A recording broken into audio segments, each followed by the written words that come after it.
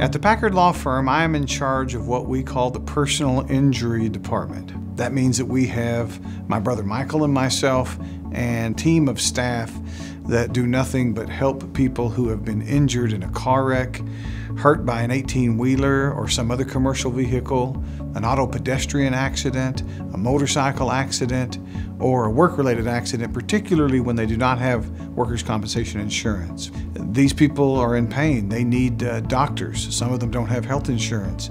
They need uh, replacement income, and they need somebody who will speak for them and will help them through the claims process and get them a, a fair and just settlement. And that's what we do. We help these people in the claims process. We try to settle the cases without having to go to court.